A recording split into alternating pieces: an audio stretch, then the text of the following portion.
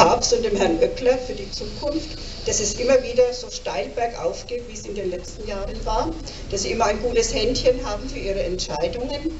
Und ich kann Ihnen nur versichern, bei mir finden Sie immer ein offenes Ohr. Wenn Sie irgendein Problem haben, kommen Sie bitte einfach auf mich zu. Ich versuche es zu lösen, auch wenn es manchmal ein bisschen dauert, aber ich bleibe gerne am Ball für Sie.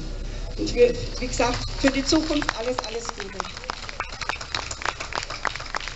Herr Töpper, was äh, haben Sie für Glückwünsche des Landkreises mitgebracht und was wünschen Sie dem Unternehmen? Also für die unmittelbare Zukunft wünsche ich jetzt mal, dass das Wetter hält.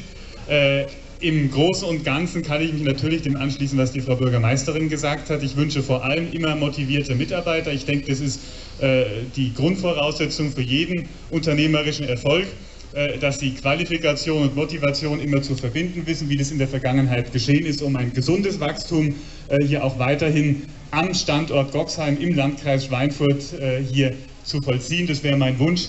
Es ist tatsächlich so, auch von Seiten des Landratsamtes werden wir alles tun, was in unseren Möglichkeiten steht, um Ihr Unternehmen zu fördern. Das ist uns, wie gesagt, ein großes Anliegen. Herzlichen Dank für die Gelegenheit, heute mit dabei zu sein. Ich glaube, die Frau Beer mag das Grüne gar nicht so, die nimmt, glaube ich, lieber das schwarze Mikrofon, Herr Landtag. Brauchen Sie gar nicht drüber geben, das hätte sie eh abgelehnt, oder?